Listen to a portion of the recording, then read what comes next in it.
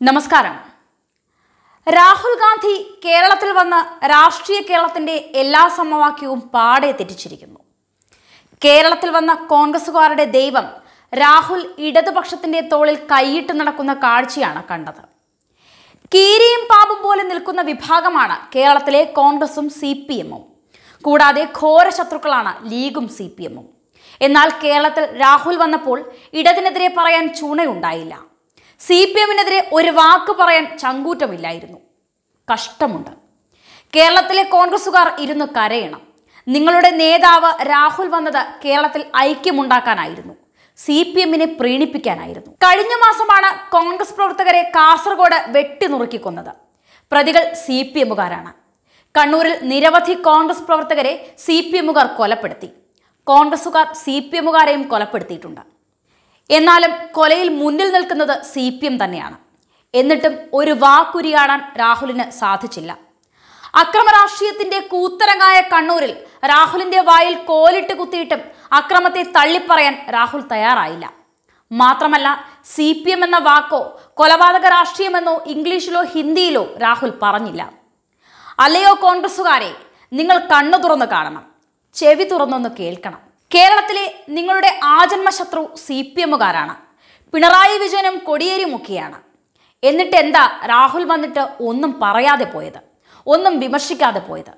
പിണറായിയുടെയും കൊടിയേരിയുടെയും നിഴൽ കണ്ടപ്പോൾ മുട്ട് കൂട്ടിയിടിച്ച് വിറങ്ങലിച്ച് ഒരു പേടിത്തൊണ്ടൻ ചെറുപ്പക്കാരനെയാണ് കേരളത്തിൽ വന്ന രാഹുലിന്റെ മുഖത്ത് നിന്നും വായിച്ചെടുത്തത്. സി പി എമ്മിനെ വിമർശിക്കില്ലെന്ന മുൻനിലപാടിൽ നിന്ന് ഒരു പടി കൂടി കടന്ന രാഹുൽ ഗാന്ധി സി പി എമ്മിനെ പ്രശംസിക്കുക കൂടി ചെയ്തു. ബി ജെ പി പോലെ എതിർക്കേണ്ട പാർട്ടിയല്ല ഇടതുപക്ഷമെന്ന് പറഞ്ഞു വെച്ച രാഹുൽ. അതിനുള്ള കാരണവും വ്യക്തമാക്കി. ബി ജെ പി ഭരണഘടനാ സ്ഥാപനങ്ങൾ തകർക്കാൻ ശ്രമിക്കുമ്പോൾ ഇടതുപക്ഷം അതൊരിക്കലും ചെയ്യില്ലെന്ന് രാഹുൽ ഗാന്ധി പറഞ്ഞു. നാണം വേണം കോൺഗ്രസെ. ജീവിതകാലം മുഴുവൻ സി പി എമ്മുകാരുടെ തല്ലും ശകാരവുമൊക്കെ ഏറ്റുവാങ്ങി ഒരു തിരഞ്ഞെടുപ്പ് വേളയിൽ നിങ്ങളെ ഇങ്ങനെ ഇകഴ്ത്തിയ രാഹുലിനെ കോൺഗ്രസുകാർ എന്തു ചെയ്യും? കേരളത്തിലെ പ്രതിപക്ഷമായ കോൺഗ്രസിന് ലേശം കാര്യഗൗരവം വേണം. ഇടത് ഭരണത്തെ പോലും പ്രശംസിച്ചാണ് രാഹുൽ വന്നുപോയത്. എവിടെ പിണറായിക്കെതിരെ വിമർശനം? എവിടെ സംസ്ഥാന സർക്കാരിനെതിരായ ഭരണപരാജയം ചൂണ്ടിക്കാട്ടൽ? നാനൂറ്റി അൻപതിലേറെ ആളുകൾ ഡാമിലെ വെള്ളം മുക്കിക്കൊന്നതിനെതിരെ പോലും കമ എന്നൊരക്ഷരം മിണ്ടാതെ പോയ രാഹുൽ മനുഷ്യരാണോ? കേരളത്തിൽ കോൺഗ്രസ് എന്നാൽ എന്ത് പ്രതിപക്ഷമാണ്? ഇതാണോ കേരളത്തിലെ കോൺഗ്രസിന്റെ നയം? ഇതാണോ കോൺഗ്രസ് എന്ന പ്രതിപക്ഷം? ജനത്തെ ഇങ്ങനെ പറ്റിക്കുന്നത് കഷ്ടം തന്നെയാണ്. സി പി എമ്മിനെതിരെ ഒന്നും പറയാതെ പ്രശംസ മാത്രം പറഞ്ഞ രാഹുൽ ഗാന്ധി എങ്ങനെയും വയനാട്ടിൽ ജയിക്കാൻ കേരളത്തിലെ ബാക്കി പത്തൊൻപത് സീറ്റിലും സി പി എമ്മുമായി സൗഹൃദമാകുന്നു. എന്ത് വേദനാജനകമായ കാര്യങ്ങളാണ്. പ്രളയം അക്രമ രാഷ്ട്രീയം ഭരണപരാജയം എല്ലാം രാഹുൽ വിഴുങ്ങിയിരിക്കുന്നു. വല്ലപ്പോഴും കേരളത്തിൽ വന്ന് എത്തി നോക്കി പോകുന്ന രാഹുൽ ഗാന്ധിക്ക് രമേശ് ചെന്നിത്തലയേക്കാൾ സ്നേഹം പിണറായിയോടാണ്. കോൺഗ്രസിന് പത്ത് വോട്ട് കുറഞ്ഞാലും കുഴപ്പമില്ല. സി പി എമ്മിന് ഒറ്റ വോട്ടും കുറഞ്ഞു പോകരുത്. ഇങ്ങനെ ആഗ്രഹിക്കുന്ന കോൺഗ്രസ് ചരിത്രത്തിലെ തന്നെ ആദ്യത്തെ പ്രസിഡന്റാണ് രാഹുൽ ഗാന്ധി. കേരളത്തിൽ കോൺഗ്രസ് ജയിച്ചാലും സി പി എം ജയിച്ചാലും ഒരുപോലെയാണ് എന്ന് രാഹുൽ കരുതുന്നു.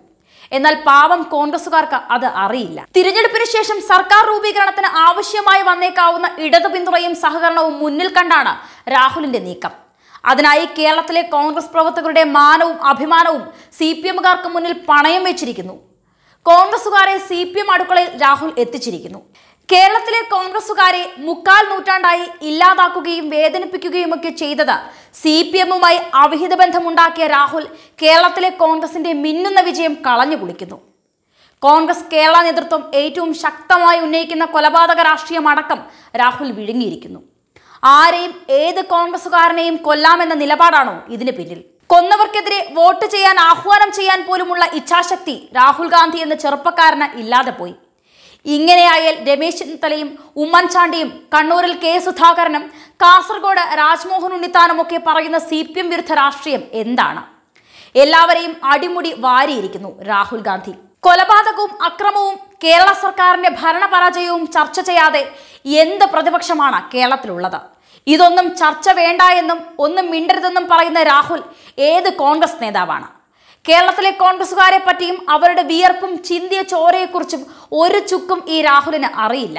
കേവലം ഒരു പ്രധാനമന്ത്രി സ്വപ്നം തലയിൽ കയറി കണ്ണിന് പോലും തിമിരം ബാധിച്ചിരിക്കുന്നു രാഹുലിന്. ശത്രു ആരാണെന്നും എന്താണ് കേരളമെന്നും കേരളത്തിലെ കോൺഗ്രസ് എന്താണെന്നും രാഹുൽ മറന്നുപോയിരിക്കുന്നു. ഈ മനുഷ്യന് ഒരു പ്രധാനമന്ത്രി കസേരയ്ക്കായി കേരളത്തിലെ കോൺഗ്രസുകാരെ മുഴുവൻ സി പി പാളയത്തിലാക്കി. അക്രമ രാഷ്ട്രീയത്തിനെതിരെ ഒറ്റ വാക്ക് ഉരിയാടാതെ കേരളം വിട്ട രാഹുൽ കാസർകോട്ടെ കൂട്ടക്കൊലപാതകത്തിന്റെ ചോരച്ചാലുകൾ കാണാതെ പോകരുത്. കേരളത്തിൽ ശബരിമല വിഷയത്തിൽ എത്ര ഹൈന്ദവരെ തല്ലിച്ചതച്ചു. വിശ്വാസികൾ വേദനിച്ചു. അന്നെല്ലാം കോൺഗ്രസ് സമരത്തിലുണ്ടായിരുന്നു. എന്നാൽ ഇന്നിതാ എല്ലാം വിഴുങ്ങി. എത്ര കഷ്ടമാണ് കോൺഗ്രസെ ഈ സ്ഥിതി. കേരളത്തിലെ പ്രതിപക്ഷമായി നിങ്ങൾ ഇങ്ങനെ സി പി എമ്മിനും സർക്കാരിനും വേണ്ടി കീഴ്പ്പെട്ടു പോയത് കാണുമ്പോൾ കഷ്ടം തോന്നുന്നു. ഒരു പ്രതിപക്ഷം എന്ന ഉത്തരവാദിത്വം പോലും നിറവേറ്റി ജനത്തെ സേവിക്കാൻ നിങ്ങൾക്ക് കഴിഞ്ഞിട്ടില്ല. പ്രതിപക്ഷമല്ല നിങ്ങൾ. യു ഡി എഫ് എന്നാൽ ഇടത് സർക്കാരിന്റെ കൂട്ടാളികൾ തന്നെയെന്ന് ജനം വിശ്വസിക്കുന്നു. നേതാക്കൾ ഉള്ളിൽ ഒന്നാണ്. അണികളെ തല്ലാനും കുത്താനും വെട്ടിക്കീറാനും കൊല്ലാനും ഇട്ടുകൊടുക്കും. രാഹുൽ കേരളത്തിൽ വന്ന് കോൺഗ്രസിന്റെ പത്ത് വോട്ട് കുറഞ്ഞാലും സി പി എമ്മിന്റെ ഒറ്റ വോട്ടും കുറയരുത് എന്ന നിലപാട് സ്വീകരിച്ചത് കോൺഗ്രസുകാർ കണ്ണു തുറന്നു കാണുക. ഇങ്ങനെയാണോ ഒരു നാട്ടിൽ പ്രതിപക്ഷം പ്രവർത്തിക്കേണ്ടത്? ഇതാണോ പ്രതിപക്ഷ ധർമ്മം? കേരള സർക്കാരിനെ വിമർശിക്കാനാകാത്ത കോൺഗ്രസ് ഏത് പ്രതിപക്ഷമാണ്? കൊലപാതക രാഷ്ട്രീയം അഴിമതി ശബരിമല കലാപം വികസനമില്ലായ്മ പോലീസ് നടപടികൾ അങ്ങനെ പറയാൻ ഒരുപാടുള്ളപ്പോൾ ഒന്നും പറയാതെ സി പി എമ്മിനെ നൈസായി അങ്ങ് രക്ഷപ്പെടുത്തിയ രാഹുൽ ഗാന്ധിയുടെ ഈ നിലപാട് കേരളത്തിലെ പത്തൊൻപത് ലോക്സഭാ മണ്ഡലത്തിലും പ്രതിധ്വനിക്കും. യു ഡി എഫ് തൂത്തുവാരുമെന്ന് വിധിച്ച സർവേകളെല്ലാം അസ്ഥാനത്താകും കാരണം ഇടതിനെ തൊടാനും വിമർശിക്കാനും രാഹുൽ ഗാന്ധി സമ്മതിക്കില്ല. കോൺഗ്രസുകാർ ഈ മാറി വന്ന രാഷ്ട്രീയ സാഹചര്യമോർത്ത് വിലപിക്കുക ആലോചിക്കുക. ഇനി എന്താണ് അടുത്ത രക്ഷാമാർഗമെന്ന് ആലോചിക്കുക. News desk കർമാനൂസ്